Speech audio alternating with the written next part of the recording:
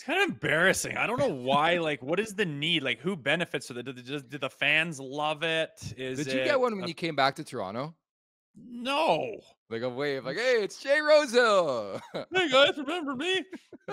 no, I think it's weird, man. You got to have at least hundred games played for a team to get that, and you have like Pierre Engvall, like Crazy, man. get out of here, man. It's dumb. It should be like uh there's got to be like 20% of that guy's jerseys in the crowd while he was playing if you're going to give him a welcome We gotta make a you know? rule.